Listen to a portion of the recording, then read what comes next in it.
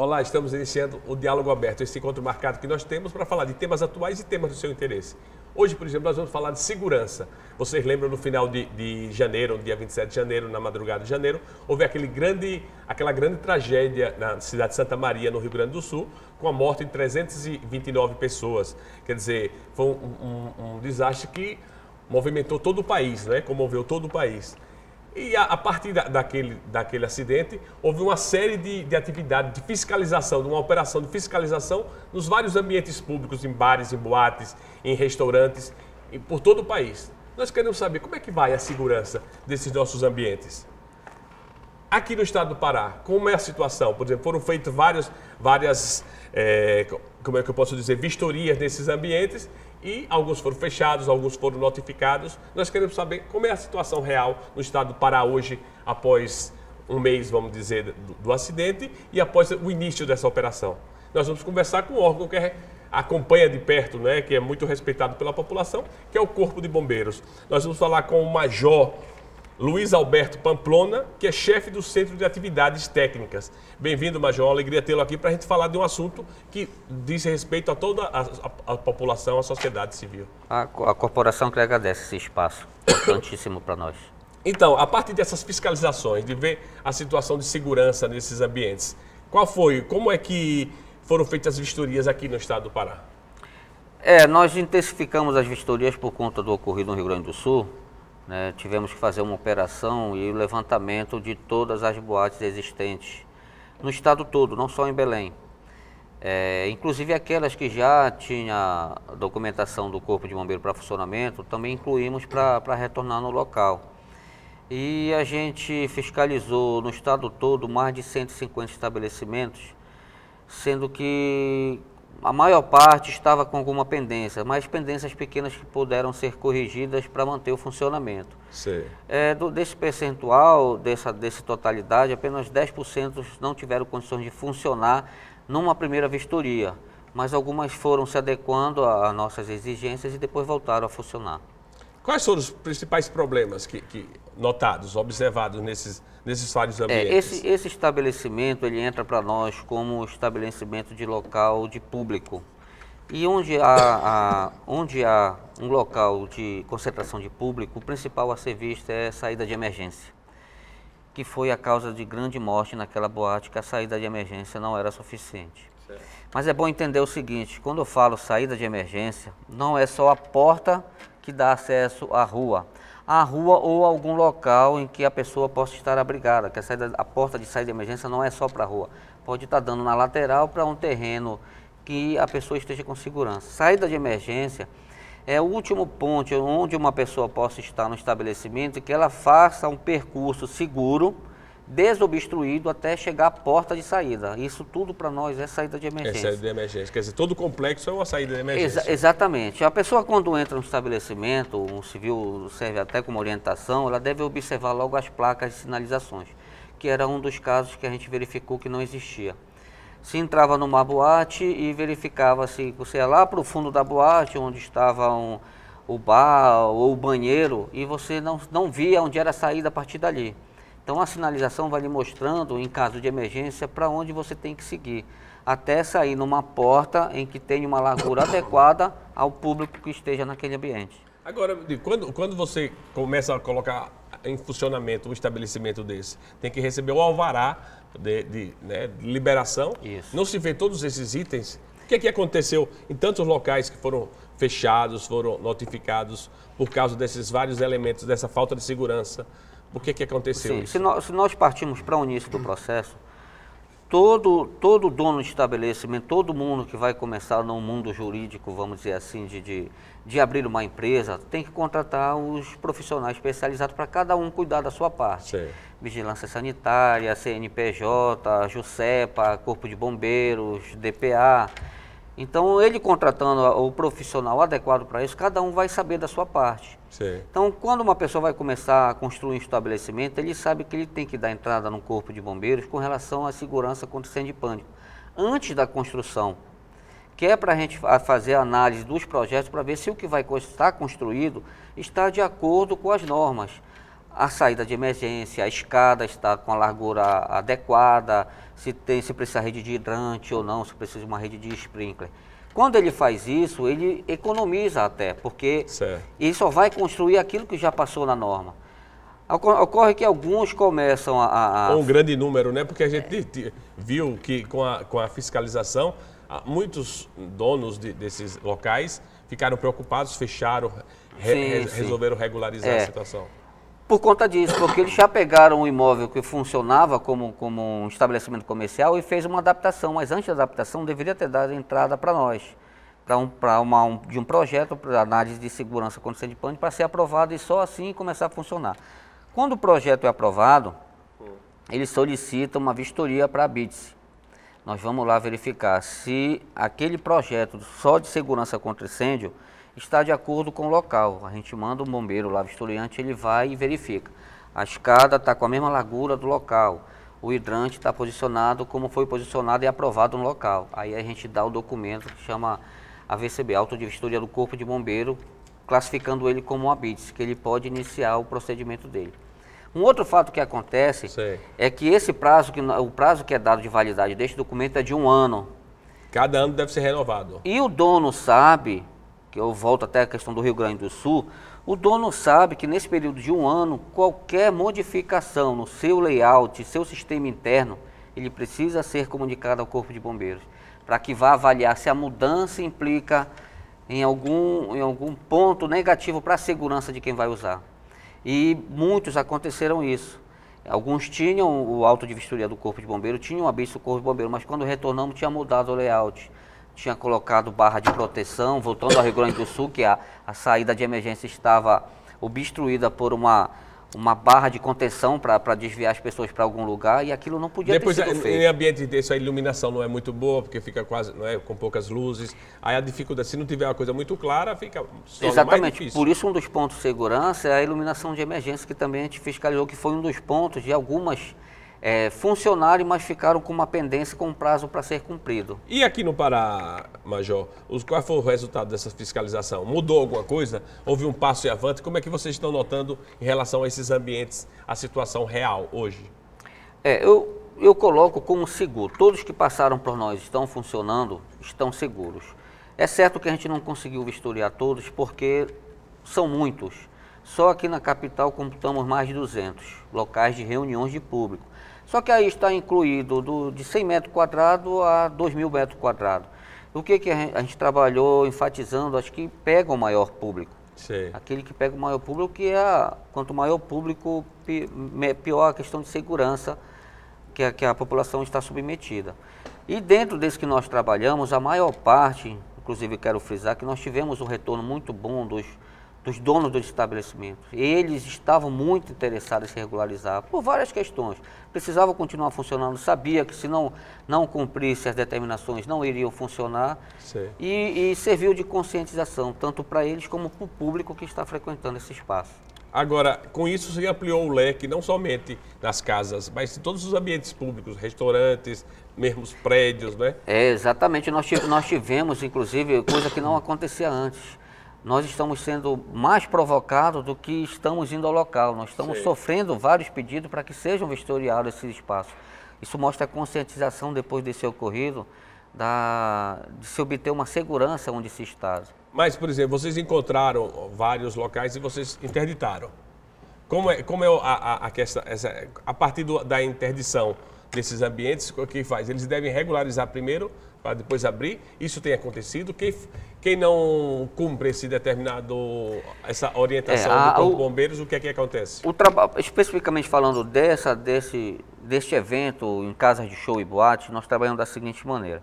A avaliação era feita no local, se o espaço atendia às condições mínimas de segurança. E a principal era a iluminação, saída de emergência. Sei. É, Tendo isso como certo, a gente liberava para funcionamento, mas não deixava de fora outras pendências, como localização de extintor, a troca do extintor, extintor O problema de extintor de incêndio também é muito crítico em vários locais, não é? Depende, depende dessa análise. Sim. É porque por conta do seguinte, não adianta ter o extintor se ninguém vai saber usar.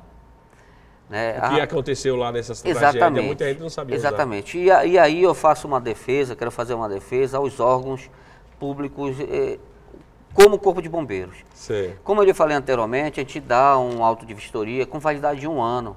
E o dono tem que saber que aquele extintor vai vencer, que ele tem que ficar manutenido, que se ele fizer um evento e a população destruir o lacre, usar o extintor, ele tem que no outro dia repor esse extintor. Então não tem como o Corpo de Bombeiros ir todo dia, toda a cada final de semana que ocorre o evento, na segunda ele vai para ver se alguém mexeu no extintor. Senão nós teremos que fazer isso nos condomínios também, onde as pessoas passam a maior parte da sua, da, da sua vida também em casa com a família. Então é responsabilidade de quem do estabelecimento fazer manutenção do que já foi colocado. Agora uma coisa, Major, é, apenas 14%, segundo a pesquisa, apenas 14% dos municípios paraenses possuem unidades do Corpo de Bombeiro. Quer dizer, isso significa que apenas 21 municípios dos 144 existentes têm Corpo de Bombeiro.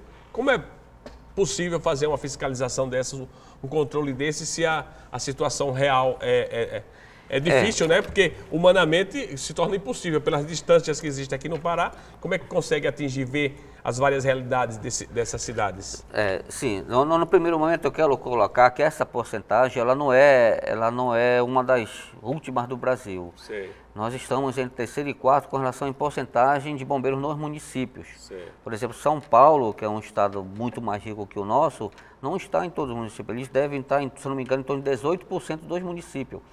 Ocorre que cada município que tem corpo de bombeiros, cada quartel, ele abrange três ou quatro municípios. Ele abrange uma área em que ele atua tanto na sua sede do município, como em outras localidades mais, mais próximas. É, dando um exemplo, a Baitetuba faz vistoria no, na sua unidade de Abaitetuba, mas também faz no Moju. É, Tucuruí também faz, faz em Tucuruí, mas faz em Goianese em novo repartimento.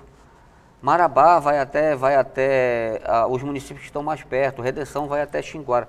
Então, o, o, há um planejamento de uma vez por mês, ou depende da necessidade, é feito um planejamento que os militares se deslocam para o município para fazer essas vistorias. Não só em boate, mas em todo estabelecimento mas que precisa da segurança. Mas situações de emergência se tornam difícil, né? É, da, já para a situação de emergência daquele do dia a dia, Sim. é deslocado do município. Aí, é, aí se tem uma questão de tempo que se chega no local. Qual é o efetivo aqui do, do Corpo de Bombeiros aqui no estado do Pará? Nós temos em média 3.100. Eu digo, eu digo em média porque sempre tem aquele que está na transição ou de ir para 3.100 ativos. É uma transição porque tem aqueles que estão pedindo para ir para a reserva e ficam num tempo já desobrigados, aqueles que estão com processo de, de, de pedido para sair, aqueles que respondem ao processo para sair, mas em média entre 3.100 homens. E a maior concentração é aqui na capital, sem dúvida. É na capital. A gente, a gente trabalha assim, o Corpo de Bombeiro está onde está a maior carga de incêndio, maior carga de problema. Sim. E o número de militares é colocado para atender aquela carga de incêndio que, que tem ali naquele local. Sim. Agora existe, a, a partir desse, dessa, dessa problemática que surgiu, dessa tragédia que, que houve no país, que sensibilizou todo mundo, existe uma conscientização maior por parte da, das autoridades, por parte do, dos órgãos públicos, por, parte dos donos desses estabelecimentos, por parte da sociedade? Como é que vocês têm acompanhado, analisado essa situação? Ou é somente uma coisa momentânea? Como aconteceu isso, se cria né, toda um, um, não, uma, eu... uma tensão e depois volta Sim, não, eu, eu, eu, vejo que essa situação veio para marcar. Muitas, muitas pessoas agora estão interessadas em saber quais são os procedimentos de emergência, quais são os equipamentos de segurança dentro dos estabelecimentos, como é que eles funcionam. Isso está trazendo tanto para os donos de estabelecimento como para a população que usa. Né? Porque antes ficava só com a gente essa, essa situação, conosco, essa situação de, de ter conhecimento da norma. Para mais pessoas, nós estamos, muitas pessoas estão procurando a gente é, para saber como é que funciona, inclusive dos, do, dos próprios órgãos, outros órgãos fiscalizadores. Sim. Né? No, no, o, o, os órgãos de fiscalização da Prefeitura e do Estado, que trabalham em conjunto em em conjunto não, cada um tem sua participação em estabelecimentos, querem saber como é que funciona o nosso e o nosso, e, a, e nós conhecemos como funciona o dele para a gente trabalhar cada vez mais em conjunto. Mas a gente vai continuar conversando no próximo bloco. Você que está nos acompanhando, nós estamos falando um pouquinho da segurança. A partir daquele desastre que houve no Rio Grande do Sul, como é que está a situação da, das nossas ah, nos locais públicos, em boates, em bares, em restaurantes, em prédios, nesses vários locais, e o trabalho que o Corpo de Bombeiros realiza né, tem trabalhado aqui no estado do Pará. Nós vamos para o nosso apoio cultural e retornamos logo em seguida. Eu espero você. Estamos de volta no Diálogo Aberto. Obrigado pela audiência, obrigado pela companhia. Nós passamos essa hora juntos para conversar justamente um tema que interessa a você. E um problema como esse, que é a segurança dos ambientes públicos, você que é pai, você que é mãe, muitas vezes vê o, o, o, o, teu filho, jovem, adolescente que vai nesses ambientes, fica logo preocupado como é a situação real. Então, está fazendo um trabalho para melhorar essa situação, não somente no estado do Pará, como em todo o país. Nós estamos aprofundando a realidade aqui no estado do Pará. E nós estamos conversando com o Major Luiz Alberto Pamplona, que é chefe do Centro de Atividades Técnicas. No primeiro bloco ele falou um pouquinho das várias realidades. Agora, com isso, as pessoas que frequentam esses ambientes estão mais atentas também, né? É, dá a impressão que eles agora, quando entram no ambiente público, eu já conversei com várias pessoas em relação a isso, ficou atento aos itens de segurança. Eu queria que você destacasse esses itens de segurança que uma pessoa que vai no, no, no, num bar, numa boate, no local fechado assim, quais são os itens que ele deve estar bastante atento e denunciar quando não existe? É, o, o principal, você entrou no estabelecimento, verifique por onde você vai sair. E normalmente, é, normalmente, algumas vezes, a porta de entrada não é a saída de emergência. Né? Só que a gente tende onde entrar, sair por ela. Então, o que você tem que fazer quando entrar? Ver, olhar a sinalização e saber onde é a saída de emergência. É lá que vai estar uma porta que foi dimensionada para aquele público que está no local. Sei. Eu não, eu é, é, é, bom que se veja a posição de extintores, mas é bom também salientar que só para aqueles que sabem mexer nos extintores, porque ele não é de difícil manuseio mas é preciso ter alguns procedimentos, senão o combate com o O que é necessário acaba... fazer, por exemplo? Que eu acho que, que esse, esse, trabalho de conscientização deve levar as, as, pessoas a participarem também dessas várias realidades. Como a população, de modo geral, podia se preparar melhor em casos, por exemplo, como extintores de incêndio? Será que há escola? Será em cursos, em cursos que, que desenvolvam um tipo de atividade como essa para justamente em situações de risco a pessoa saber agir? Sim, nós, nós temos várias, várias, várias frentes com relação ao trabalho de informação da questão de segurança. Sim. Para as empresas, nós temos as normas reguladoras do Ministério do Trabalho, em que obriga cada estabelecimento a ter o seu sistema preventivo, o seu pessoal para análise de segurança do seu grupo. E lá está incluída a orientação e instrução dos servidores é, para o uso desses equipamentos. Não só uma equipe especializada que fica, mas também fazer com que todos saibam como é que funciona e por onde eles têm que assumir uma rota de fuga e, e, e trabalhar com a segurança do local. Para as escolas e outros órgãos públicos, nós temos um trabalho do governo do estado, o Propast, que trabalha com, com os órgãos de segurança pública, em cada um trabalha nas escolas, nas comunidades, a informação. É certo que isso não chega a todo mundo. Então, talvez precisasse fazer uma, um, um, outro mecanismo ou passar que isso fosse matéria escolar para que mostrasse como é que a segurança funciona é, no país. É. Porque a segurança, ela começa dentro de casa. Isso. Então, muita gente leva a segurança Quer dizer, só para o trabalho... nível de conscientização, né? as pessoas vão se conscientizando e trabalhando. Por é. isso que é necessário, em, em situações de risco como essa, não, não, se improvisar, né? Exato. Só que a conscientização vem com conhecimento da, da, daquela causa, de como funciona aquilo. Então muitos não sabem. A gente inclusive está levando aos donos de estabelecimento de, de, em reunião de local de público, boate, restaurante, principalmente onde ocorre show, para que antes do show seja colocado o slide mostrando como é que funciona aquele estabelecimento, onde estão localizadas as saídas de emergência, onde eles podem encontrar um brigadista que está no local para atender um, uma primeira ocorrência. O que fazer se verificar um foco de incêndio perto do local onde esteja? Isso para cada estabelecimento a pessoa vai se acostumando com aquilo de antes de começar o show verificar ou no intervalo de cada banda no estabelecimento for passada todas as informações. Assim como nós temos as informações, quem viaja de avião, é obrigatório passar toda a informação de segurança, onde é a rota de fuga, para que, que serve o assento. Isso, Isso, deveria ser comum, de regra, para todo mundo que trabalha com... Você acha que a partir desse, desse evento vai existir uma mudança de mentalidade em relação a isso? Vai. Todos os órgãos estão trabalhando, estão verificando que cada a, A cada catástrofe que acontece, a gente verifica que há falha na legislação vigente. Aí a gente buscou, busca o aprimoramento. aprimoramento. Isso é dentro de cada órgão. O bombeiro já está verificando algumas mudanças no seu decreto, a, as secretarias municipais, as outras do Estado, cada um vai se adaptando a melhorar a condição de segurança. Depois esse trabalho de parceria é fundamental, né? Numa situação como essa, se o Corpo de Bombeiros trabalha com as várias realidades sociais que existem naquela cidade, naquele município, naquele estado, é, se torna mais eficiente ainda a questão, né? Isso. Uma questão que eu queria saber é em relação o que é necessário. Nós vimos que é só somente 14% dos municípios têm corpo de bombeiros. O que é, necessário para criar uma unidade de corpo de bombeiros no município? Depende do, do prefeito, depende da. da o que, que, por que é que existe essa carência tão grande né, de uma necessidade que é importante e, ao mesmo tempo, o, o número que atende não consegue ser muito grande pela, né, pelas condições de que só 14%. Né? Sim. É, falando de Corpo de Bombeiros Segurança Pública, constitucionalmente é obrigação do Estado. Porém, é, de alguns anos para cá, as prefeituras vêm fazendo parceria com o Corpo de Bombeiro porque sabe que instalar um Corpo de Bombeiro é caro. Só um carro de incêndio nosso, mais barato, custa 300 mil reais. O restante até que não é tão caro, um, um pequeno alojamento em que possa colocar uma guarnição, uma garagem para dois carros, um refeitório para fazer a alimentação de quem fica de serviço, isso não é, não tem custo tão alto, mas o custo é da compra e manutenção dessas viaturas e desses equipamentos. Então, algumas, algumas é, prefeituras já fizeram parceria com, com, com o Corpo, Corpo de Bombeiros. Bombeiros Eles entram com o local, entram em, num primeiro momento de, de um convênio com o abastecimento das viaturas e com o, o alimentação da guarnição. E o, e o bombeiro entra com seu pessoal qualificado, com o salário do pessoal e por aí o atendimento àquela população. Sim. Então, as prefeituras que, que, que, se interessem, se interessarem por uma localização do Corpo de Bombeiro, têm procurado o governo do Estado, através da Secretaria de Segurança Pública, e feito convênio.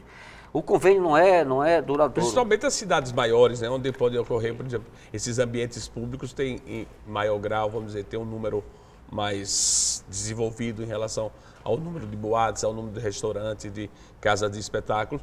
Quer dizer, se torna ainda mais vital, mais necessário a presença do Corpo de Bombeiros. Até porque nós não trabalhamos só com a questão de, de combate a incêndio. Isso. Nosso trabalho principal é o trabalho preventivo. Se a gente está trabalhando bem preventivamente, a gente até brinca com os colegas do quartel. A gente, o pessoal da prevenção, enquanto está na rua, está segurando aquele que está de serviço 24 horas do carro de incêndio. Quanto mais a gente está na rua fazendo prevenção, mais eles vão ficar guardados dentro do quartel esperando alguma ocorrência acontecer, que é o que a gente não quer que aconteça. Isso é uma coisa que talvez aconteça muito na, na, na é, o, a, o, Corpo de Bombeiros é um, é um órgão bastante, uma instituição bastante respeitada. Mas muitas vezes as pessoas pensam que a função do Corpo de Bombeiros é apagar incêndio.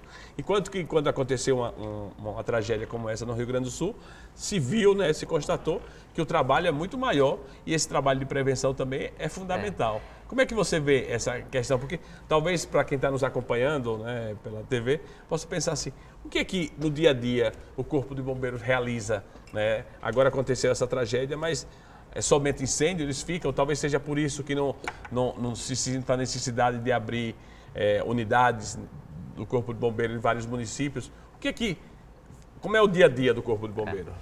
É, voltando, a, é, indo para a questão da população só saber, não é, não é à toa, né? porque desde, desde a colonização do Brasil, se precisava de um, de, um, de um grupo que combatesse aqueles incêndios em que a população não conseguia. Aí sim foram montados equipamentos em carroças para realmente só no combate ao incêndio. Quer dizer, o histórico é, é, é, é, né? é esse mesmo, né?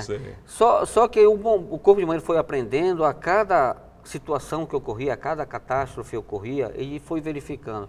Peraí, mas se eu conseguisse evitar, porque para todo, todo acidente vem de uma causa, né? Ele não é por acaso, ele vem de alguma falha, alguém falhou, para um acidente ocorrer, alguma falha ocorreu.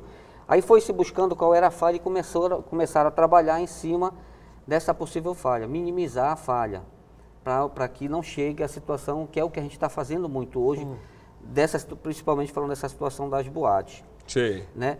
O que a gente tenta conscientizar, quando tenta fazer uma parceria com o municipal, levar o bombeiro para lá, é que ele pode questionar, mas aqui quase não, não tem, incêndio, quase não tem incêndio.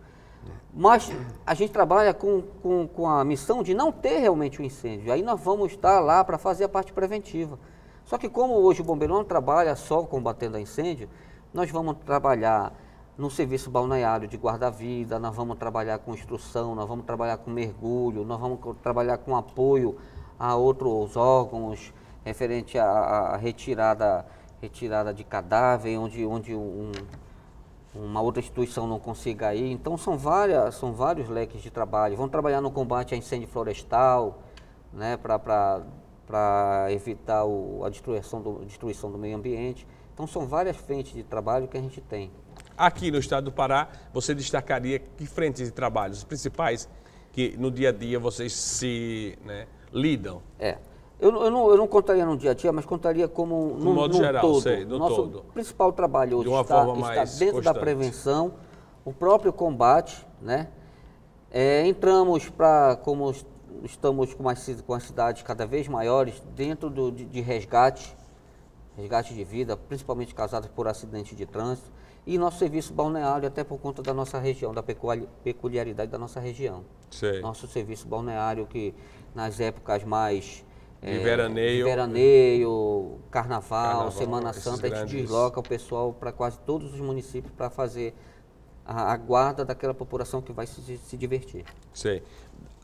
Segundo dados, existe, são cerca de 200 mil incêndios de média e alta proporção que acontecem anualmente no país, até muitas vezes com vítimas fatais. Como é a realidade no estado do Pará? Acontecem muitos é, no incêndio, a gente tem um período em que mais ocorre incêndio e ele vem se aument, é, aumentando cada vez mais. É um período que começa de julho e vai até final de setembro, quando a estiagem está cada vez maior, por conta de várias questões climáticas. Mas é, a partir de julho começa uma estiagem, quando chega agosto e setembro, os incêndios aumentam, né? principalmente os incêndios florestais Sim. e em residências de madeira. De madeira, tem muito, né? Nós tem, aqui acompanhamos tem. de vez em quando situações é, como essa. É aí que a população, inclusive, deve ficar alerta. Quanto menos chuva, menor é a umidade. Nós temos a umidade do ar, como temos a umidade do material. A água que está no ar, ela penetra também nas madeiras, penetra na vegetação e ela fica acumulando água. Quando, tem, quando nós estamos muito, num período muito longo sem chuvas, Sei é, para manter o equilíbrio do meio ambiente, ele tira a água de um local. Então, tira a água da folha, tira a água da madeira da casa, né, vai tirando a água da, da, da piscina que está ali, vai para poder minimizar a, temperatura. Aí vai, vai se tornando mais inflamável aquele material combustível. Por isso a incidência é maior nesse período. Né? Então, a gente está trabalhando com uma conscientização daqueles que têm casa de madeira muito próximas, que de um, de um tempo em quando possa molhar suas casas, manter planta que mantém essa troca de umidade, molhar a mesma parede, manter quanto mais úmido o material. Isso é importante, algumas dicas. Você que está nos acompanhando, você que é né, dona de casa, mãe de família, ou tem uma propriedade, ou mora numa casa de madeira, eu acho que, que esses dados, essas dicas são fundamentais, né? Pode Isso. continuar. É, quanto mais úmido é o material combustível, mais tempo ele vai levar para entrar, para se inflamar. E, inclusive, esse é o tempo que nós precisamos para chegar nas nossas ocorrências, que cada vez ela está mais difícil com o trânsito que a gente tem. Antes, a nossa, a nossa, nosso tempo máximo de atendimento, antes que eu digo, era há 15 anos atrás. Há 15 anos atrás, eu tenho 20 anos de corpo bombeiro. Eu, eu, Quer dizer, a cidade, um, um, grande centro urbano, se torna difícil também essa locomoção. Do... É. Aí o que, que tem que acontecer? A gente tem que desmembrar os quartéis para tentar ficar mais próximo, para diminuir. Hoje o nosso atendimento está em 15 minutos para chegar numa coisa. Mas 15 minutos é muito tempo. Dependendo da situação, né? É muito tempo, é. Inclusive a, a, a população às vezes até não entende, mas está feito aqui, entrou no, no, no, centro, no CIOP, no centro de operações, que entrou um pedido de ocorrência, na mesma hora a gente já está mandando todas as viaturas. Sei. Chegou lá, só precisou de uma, para nós não importa. Importa que a viatura foi e já estava próxima. Ela volta. Mas a gente tenta atender o mais rápido possível. Aqui, Major, aqui no, na, na, região metropolitana de Belém, como é que está a distribuição do Corpo de Bombeiros? Você falou né, que procuram desmembrar as corporações para ficar mais perto das, das várias realidades. Como é, é a situação? Inclu, inclusive, às vezes a população olha, pô, você tem um quartel muito próximo do outro. Temos um na Júlio César, Se você pegar a perimetral, já temos um ali no Mangueirão, mas é porque a gente já fez avaliação de quanto tempo uma viatura leva para chegar no entroncamento. Então, quando a nossa viatura da Júlio César, exemplo, não puder chegar no entroncamento, a do Mangueirão vai chegar mais rápido pelo Augusto Montenegro. Então, a conta é feita assim. Nós, temos, nós atendemos todos os bairros de Belém. Nós não estamos localizados em todos os bairros, mas os quartéis já estão estrategicamente localizados para atender aquela, aquela área. E quando não for possível, a outra também já tem uma rota para chegar mais próximo daquele local sinistrado. Tá certo. Nós vamos continuar conversando no próximo bloco. Você que está nos acompanhando, vamos para o nosso apoio cultural e retornamos com o terceiro e último bloco do Diálogo Aberto hoje sobre segurança. Até lá. Estamos de volta com o Diálogo Aberto, hoje conversando com o Major Luiz Alberto Pamplona, do Corpo de Bombeiro. Ele é chefe do Centro de Atividades Técnicas. Nós estamos falando sobre o trabalho do Corpo de Bombeiros e, ultimamente, também sobre essa, essa, essas fiscalizações que a, acontecem por causa de, desses ambientes públicos onde pode ter perigo de, de, incêndio ou de tragédias, como aqui aconteceu no Rio Grande do Sul. É, vamos falar um pouquinho da organização do Corpo de Bombeiros aqui no Estado. É, você, nós já falamos que 14%, que tem em algumas cidades apenas. Como é a, a organização do Corpo de Bombeiros, para as pessoas saberem como trabalhar, por exemplo? Como é que a população também pode ter um contato maior com o Corpo de Bombeiros? Como eles devem ligar né, para algum tipo de emergência, algum tipo de atendimento, que nem todo mundo sabe, né, Major? É. Os nossos quartéis estão abertos para qualquer momento, a qualquer hora atender o público. Uhum. Para as situações de urgência e emergência, nós temos o 190 aqui na capital ou o 93 que é conhecido no país todo como o telefone do Corpo de Bombeiros. E isso ele é, é qualquer lugar que tenha Corpo de Bombeiros do Brasil todo, se ligar o 93 é o bombeiro que vai atender. Sim. Inclusive eu quero até frisar para a questão de uso do celular, é obrigatório a operadora manter 193 que seja atendido pelo corpo de bombeiro do local. Exemplo, se o morador de Itaituba está com telefone celular, o fixo já cai, porque é automático o telefone fixo. Se ele estiver em Itaituba e ligar o 93, com um telefone de lá, com DDD de lá, ligar o 93 ou 90 tem que cair no quartel de polícia de Itaituba.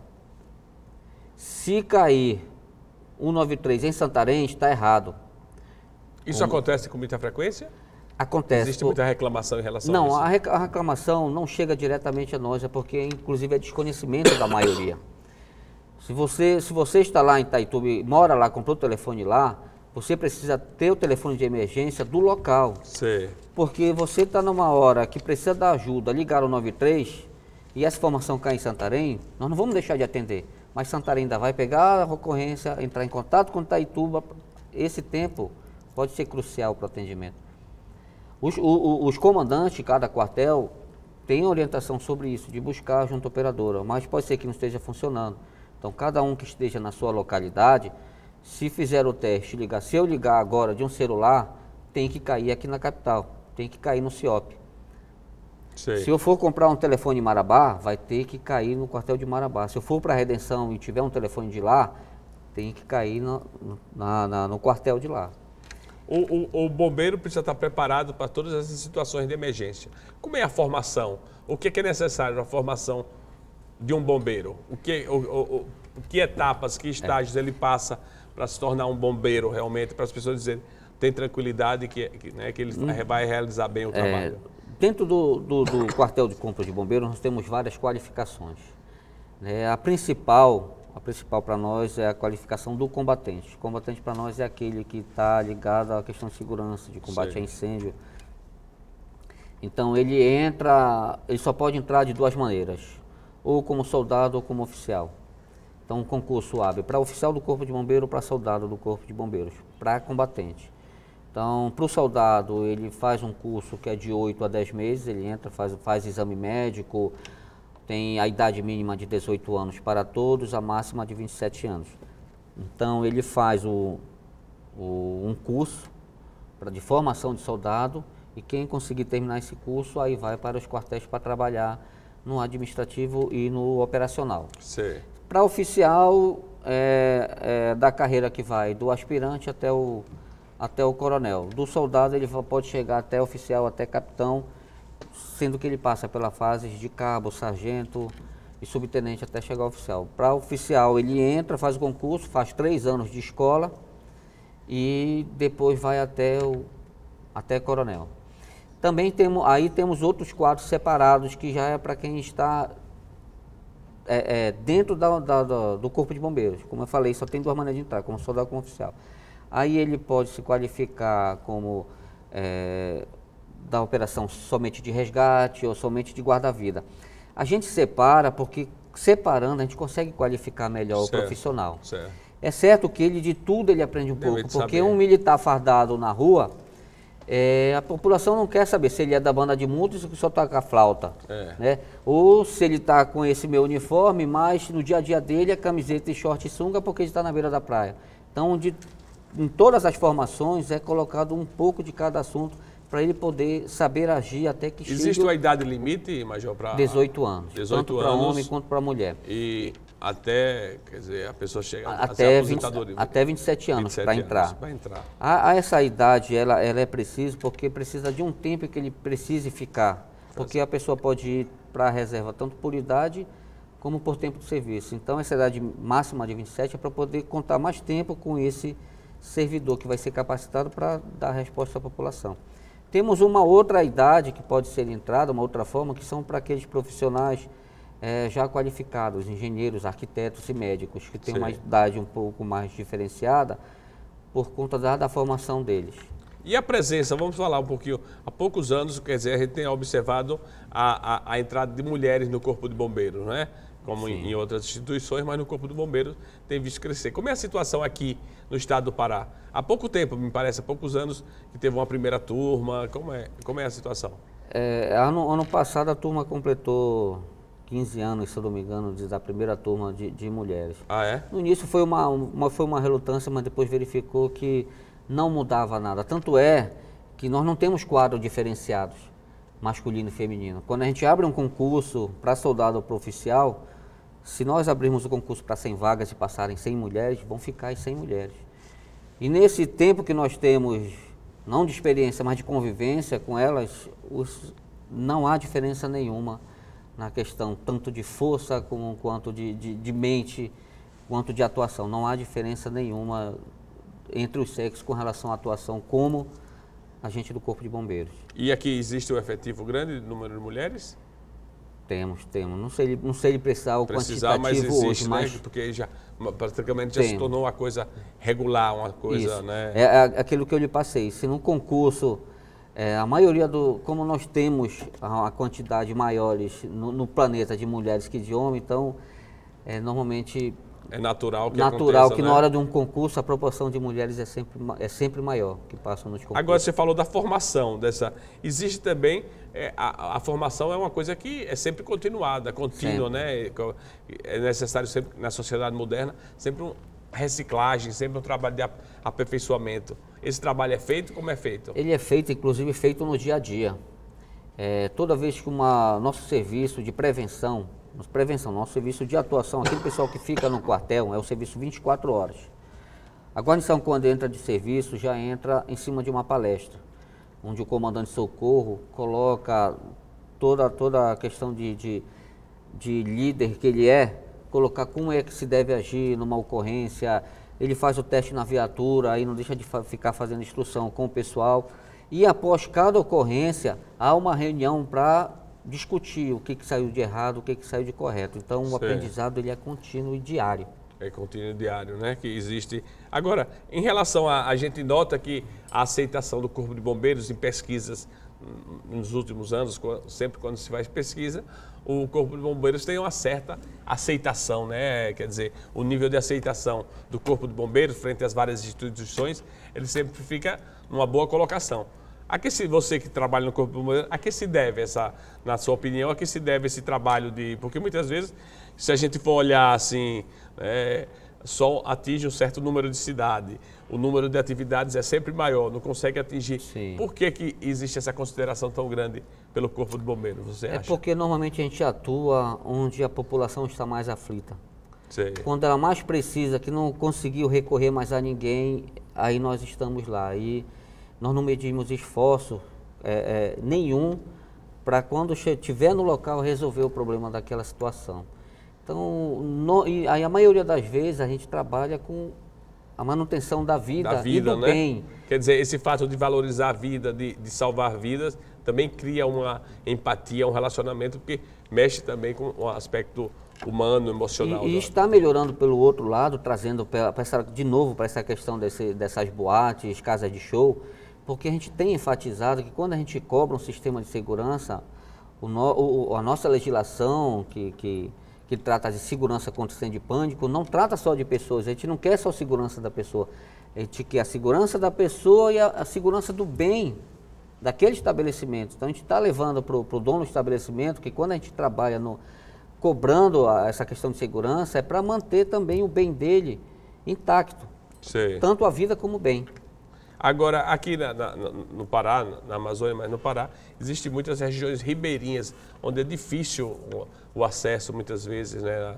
Sim. Como é que o, o, bom, o Corpo de Bombeiro realiza esse tipo de ação? Como é que eles conseguem chegar ne, nesses locais? Nós temos, nós temos o Grupamento Marítimo e Fluvial, que trabalha com lanchas. Ele trabalha com, com a equipe de guarda-vidas de praia, mas também trabalha com lancha para deslocamento de pessoal em qualquer área que a gente precise atuar. E outros quartéis, fora do grupamento que está localizado em Belém, e outros quartéis também contam com, com, com lanchas, com equipamentos náuticos para poder atender essa população. Sim, então esse vem, vem se desenvolvendo, né, vem crescendo, vem aumentando essa, esse tipo de coisa. Vamos retornar um pouquinho nosso discurso inicial de relação a esse trabalho de, de conscientização da população para essas situações críticas que acontecem, né? Que dicas, Major, o, o senhor daria que é importante para a população de um modo geral participar mais, trabalhar mais em relação a essa questão de segurança, a questão de, de ambientes públicos, de locais públicos, que muitas vezes, você, como vocês disseram mesmo, não consegue chegar em todos os lugares, mas a população consegue, né? o, o, o habitante daquele determinado local consegue. O que é que ele deve ter atento? Como é que ele deve ajudar, colaborar com, por exemplo, um corpo de bombeiros em situações como essa? É, a gente pode ter um grande apoio da população dependendo do que cada um é. Sim. Se você é professor, tire um, um tempo de sua aula e chame a gente para dar uma palestra.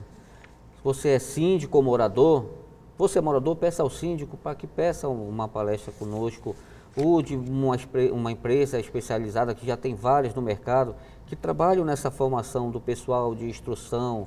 Então, cada um é, é, se conscientizando da, da segurança, Sei. ela consegue levar da, da, do, seu, do seu trabalho, da sua escola, onde você está, conseguir levar. É só ver o mecanismo, entrar em contato com a gente, a gente leva quais são os mecanismos, como é que pode ser feito. Basta que a pessoa te, esteja interessada e procure saber como é que ela consegue levar isso para mais pessoas. Isso, isso acontece com frequência, por exemplo. Desculpe. Vocês serem chamados para escolas, universidades, locais públicos, empresas, para justamente falar, porque isso daí seria uma é. coisa também importante para esse nível de conscientização. Como nós falávamos no início, de conscientizar, se nesses ambientes, escolas, fábricas, universidades, se trabalha né, essa questão, se torna uma. Quer dizer, se dá muitos passos em avante em relação a isso. Acontece. O, só que o que está acontecendo agora, como nós falamos da conscientização do público, Sei. muitos estão procurando. Então a demanda está muito alta para o nosso efetivo. A gente não está conseguindo disponibilizar. Era, era importante para nós que a gente pudesse mandar o nosso mesmo pessoal, cada um fazer a, a explanação, dar a instrução, levar para o quartel, ver como é que funciona, fazer um combate direto. Só que a gente não tem pessoal para isso. Nosso pessoal está tá mais trabalhando na preventiva do que nessa questão. Aí a gente pede até o apoio de, de de, de, procurar as empresas. Dentro da empresa já tem as CIPAs que trabalham com isso. Fora da empresa, das escolas, a gente indica um, um, um militar, um quartel mais próximo que ele possa procurar e tentar conseguir essas instruções. Sei. Mas isso tem acontecido com mais frequência. Vocês não, têm que o pedido, correr um não, pouquinho. O pedido tem acontecido muito. Nós continuamos atendendo alguns, só que não tão, estamos conseguindo atender todos, porque os, os, pedidos estão altos. Em relação a esses, a esses donos de estabelecimentos, né?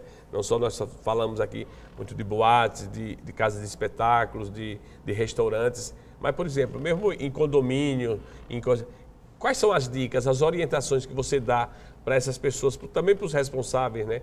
para esses donos estarem atentos? O que é que né? agora teve esse problema, se falou sobre essa questão, se trabalhou muito, mas como se tornar um trabalho perene, continuado? O que é que eles devem, que prioridades eles devem levar em consideração?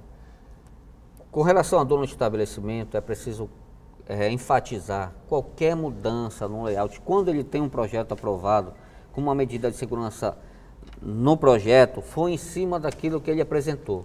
Qualquer mudança no layout precisa ser nos comunicado. Nós precisamos saber para retornar no local e verificar se a mudança trouxe algum prejuízo para a segurança.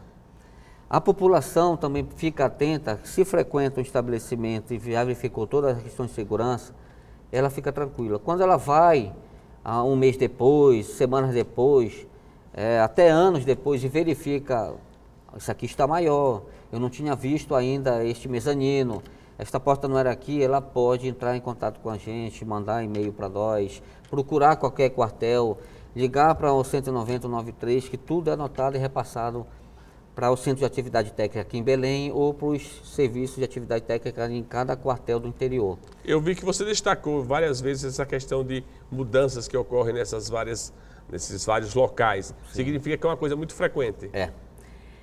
É por conta do. do e, e eu, quero, eu quero dizer que não é proposital. Né? A gente não trabalha com o dono do estabelecimento como um inimigo. Né? É porque ele quer melhorar a imagem do estabelecimento dele, Alguém, che alguém chegou e disse que essa paisagem é melhor se você colocar essa planta aqui embaixo do seu extintor vai ficar mais bonito. Então ele faz para melhorar, só que não está atento para isso. Se ele tiver dentro daquela equipe que eu falei no início, uma equipe antes dele abrir um estabelecimento, ele tem que ter cada um para cada situação. Se tiver um técnico de segurança do trabalho ali que trabalhe com ele dentro da questão de segurança, tanto para os funcionários como para quem frequenta o estabelecimento, ele vai dizer, ó, isso aqui não pode, ele pode ir uma vez por semana, ou a cada vez que ele mudar, ele, esse contratado ele vai dizer, isso aqui não pode, eu acho que não vai passar no Corpo de Bombeiro. Comprou mais, comprou mais um espaço, vai aumentar, temos que ir lá no Corpo de Bombeiro apresentar uma mudança no projeto, uma ampliação, que é para ver se aquele hidrante que foi calculado para dois ambientes, vai, a mangueira vai chegar até o outro ambiente. Então aí a gente faz o cálculo, faz, vai chegar, pode fazer, então faça de outro jeito, antes de que ele comece a funcionar. Isso é importante. Você que está nos acompanhando, está, fique atento, né? Que se alguém tem um estabelecimento assim, se ele está cumprindo essa, essas diretrizes, essas, esses dados fundamentais para regularizar a situação, principalmente quando amplia, quando cresce, quando desenvolve esses ambientes. É, Major Luiz Alberto Pamplona, gostaria de agradecer né, pela disponibilidade e também pelos esclarecimentos. Tenho certeza que o nosso público gostou, justamente porque é importante conhecer e participar. Deixa uma palavra final que o senhor queira dirigir para quem está nos acompanhando.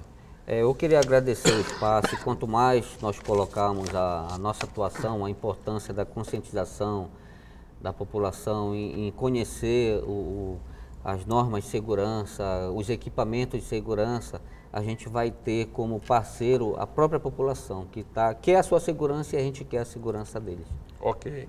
Mais uma vez, muito obrigado. E para você, obrigado pela audiência, obrigado pela preferência. A gente se encontra no próximo programa. Até lá.